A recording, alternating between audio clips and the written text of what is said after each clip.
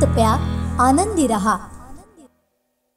चिपी विमानतळावर मुंबई ते चिपी विमानांची उड्डाण संख्या गणपती उत्सवापूर्वी वाढवण्याची मागणी नागरी उड्डाण मंत्री ज्योतिरादित्य सिंधिया यांच्याकडे आमदार नितेश राणेंनी केली आहे. याबाबतचं निवेदन त्यांनी मंत्री सिंधिया यांची भेट घेत दिलं. तसेच कोकणातील पर्यटन वाढीसाठी नाईट लँडिंग सुविधा उपलब्ध करून देण्याची मागणीही केली आहे. आपलं चिपी विमानतळ चालू झाल्यानंतर मोठ्या प्रमाणामध्ये पर्यटनाला चालना आणि मुंबईतून येणारे पर्यटक आपल्या जिल्ह्याकडे वाढलेले आहेत. पण हे बघत असताना आपल्याला एक लक्षात ठेवलं पाहिजे की आता आपल्या चिपी विमानतळावरून एकच फ्लाईट उडते. ज्या विमा ज्या फ्लाईटमध्ये फक्त बहात्तर सीट उपलब्ध आहेत.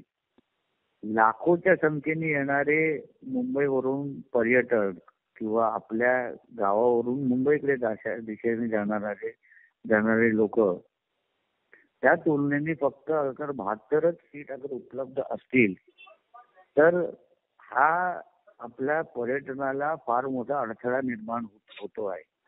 म्हणून मी आज सन्मान्य सिंधियाजींना भेटून त्यांना ही सगळी परिस्थिती सांगितली की ज्या पद्धतीने अगर आपण अजून एक विमान वाढवलं किंवा नाईट लँडिंग सुरू केली तर त्यामुळे पर्यटनाला चालना भेटेल. आणि त्याचबरोबर येणाऱ्या गणेश चतुर्थीच्या अगोदर अगर हा निर्णय घेण्यात आला तर ज्या पद्धतीने लोक रस्त्या मार्गाने येतात किंवा रेल्वे मार्गाने येतात त्याच पद्धतीने विमानाने पण मोठ्या प्रमाणामध्ये गणेश चतुर्थीसाठी आपल्या गावाकडे येऊ शकतील. या दृष्टिकोनातून ही मागणी मी त्यांच्यासमोर केलेली आहे. लक्षात घ्या कोण कमी पडतंय किंवा कोणाला करायला पाहिजे होतं की अशा पद्धतीच्या घोषणा आमचे स्थानिक खासदार असंख्य वेळे करत असतात. पण त्यांच्या घोषणांना किती अर्थ आहे ह्याचा अनुभव आपण सगळ्या जणांनी घेतलेला आहे.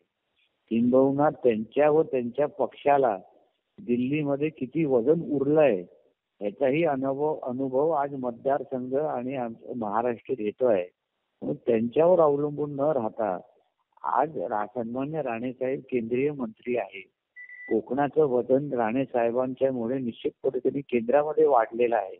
आणि त्याचाच फायदा घेऊन आपल्या सिंधुदुर्गाचं पर्यटन विकास आणि उद्योग कसं वाढवता येईल ह्या दृष्टिकोनातून पावलं उचलणं फार गरजेचं आहे.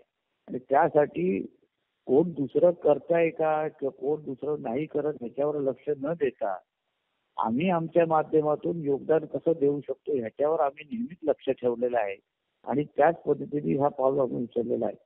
निश्चित पद्धतीने कारण का मी जेव्हा त्यांना त्यांच्यावर बसलो होतो तेव्हा त्यांना मी त्याच्या मागचे जे तांत्रिक कारण आहेत ते मी ही मागणी का करतो आहे? आणि आज फक्त एक बहात्तर सीटचं विमान सुरू करून आपण लाखोनी येणाऱ्या पर्यटकांवर अन्याय करतोय. दुसरी बाजू अशी आहे की आज जो एअरपोर्ट आपण जो बांधलाय विमानतळ जो बांधलाय तो फक्त दिवसातले दोन तासच चालवतोय आपण. आणि त्या दोन तास चालत असल्यामुळे दुपारी दोन ते अडीच नंतर अक्षरशः ते एअरपोर्ट पूर्ण खाली होतं आणि तिथे कोणीही नसतं.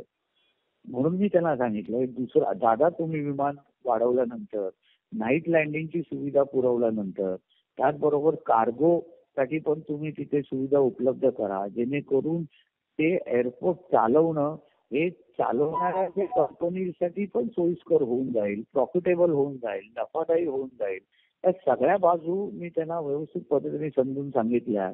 सन्मान्य मंत्री पण सकारात्मक होते त्यांनीही विषय समजून घेतले. ते तरुण असल्यामुळे पर्यटनाला चालना देणं किती महत्वाचं हे त्यांनाही चांगल्या पद्धतीने कळतं.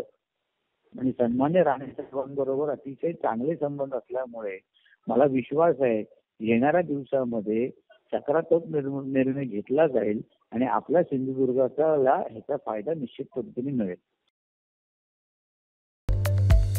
संपूर्ण कोकणसह जगभरातील ताज्या घडामोडी सर्वात प्रथम पाहण्यासाठी कोकणचं number one Maha channel Kokan सात लाईव्हचं युट्यूब चॅनल सबस्क्राईब करा आणि लेटेस्ट अपडेटसाठी बेल आयकॉन क्लिक करा.